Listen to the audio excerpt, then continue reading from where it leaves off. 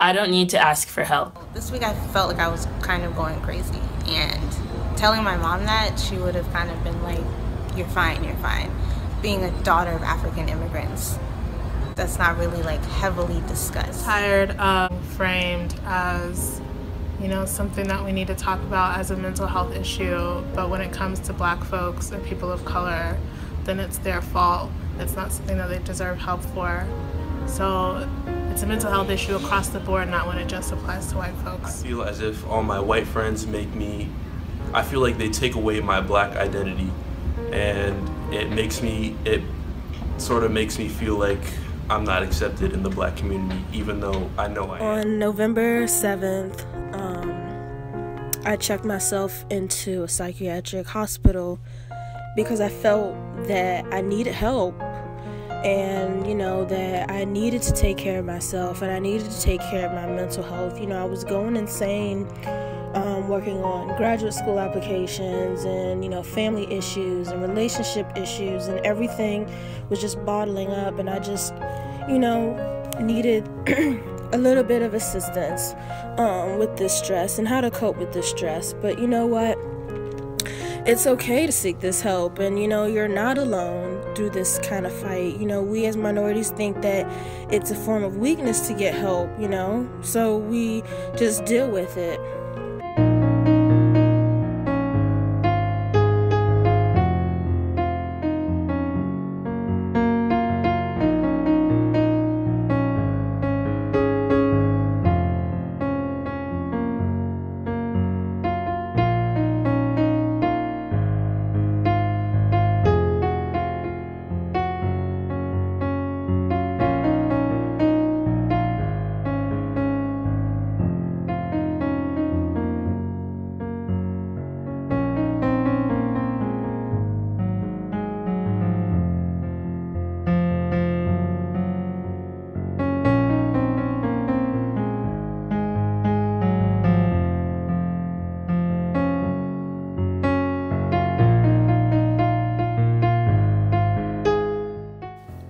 Mental health kills. Mental health is something as a black community we should pay more attention to. Mental health is something that affects the mind, the body, and the soul. Mental health is something that people struggle with around the world. Mental health is real. Mental health is serious. Do you know about the effects that mental health has on your body? It's okay to not be okay. See something, say something. Don't wait till it's too late.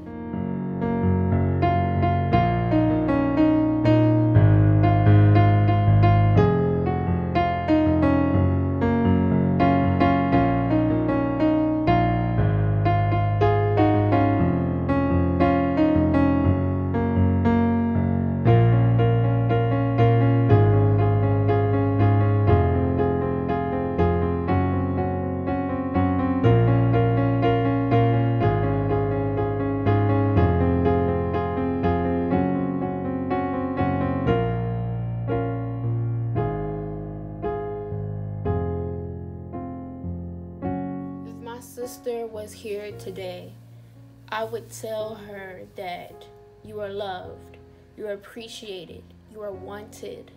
You're not alone. You're strong. You're beautiful. You're smart. Most importantly, you're my sister. I look up to you. I love you.